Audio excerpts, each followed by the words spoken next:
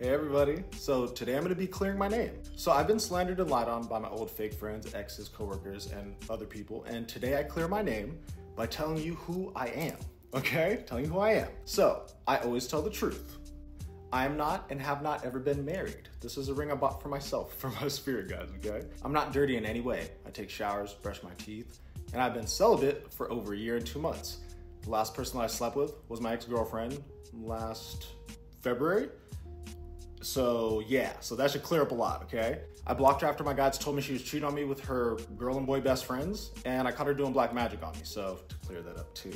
I do not do negative magic in any way, shape, or form. I'm a light, ether, and rainbow energy, and that is what I will always give and what I will always show. I am a straight male. End of story. Any gay stories that people have told you are lies. I'm only attracted to natural born women. I do not have any children. okay, no kids. I will be bringing spirit babies into the world when the time is right, okay? So expect that. I am not and have never been a 304 or sold or bought any type of intercourse before, okay? So get that out of my face, all right? I haven't stolen anyone's partner before, and I haven't ever gotten anyone pregnant before, okay? I'm very loyal. I haven't ever cheated on any of my girlfriends. I'm not in contact with any of my exes. Whenever I break up with somebody, I block them forever.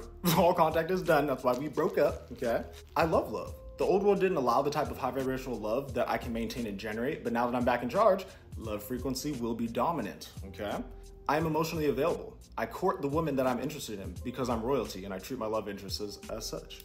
That's why we call it courting, okay? I am a solo traveler and I have the freedom and abundance to travel solo and live wherever I want. But when I find my goddess and she reveals herself to me, whatever that is, we will be traveling the world together and I'm super excited.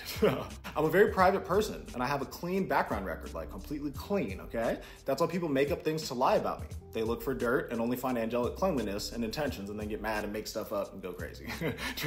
you know what I'm saying? I've only had one social media account for each one. So for TikTok, YouTube, and Instagram. For Instagram, I have a private one and my public. My private one is only there so that people can't make other accounts of me. I don't really use it. I'm only on my business account. Many of you have only seen or talked to the clones of me or people who have stolen my content, ideas, and energy.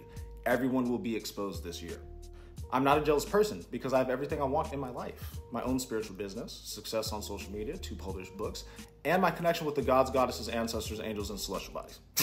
when my goddess and I find each other, we will be the example for the rest of the 144,000 and beyond of what real, unconditional, true love is. Yeah.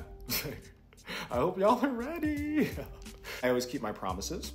And I will talk to you soon, my babies. I hope that this helps clear up a lot, okay? I'll see you guys soon. Bye. Don't listen to the haters.